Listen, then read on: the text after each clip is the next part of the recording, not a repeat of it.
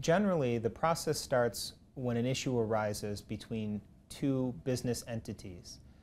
From there, the process winds through initial negotiations, attorney engagement, uh, potential litigation or alternative dispute resolution.